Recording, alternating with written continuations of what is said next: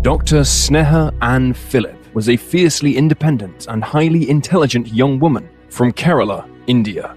Her unquestioning care for her patients, curiosity in multiple arts, and desire to see the world were all cut short by a troubling disappearance in September of 2001 in the hours leading up to the 9 11 terrorist attacks, leaving all who knew her in the Manhattan community and the entirety of New York City at large grasping for answers in a sea of mysteries that drowned us all in doubt.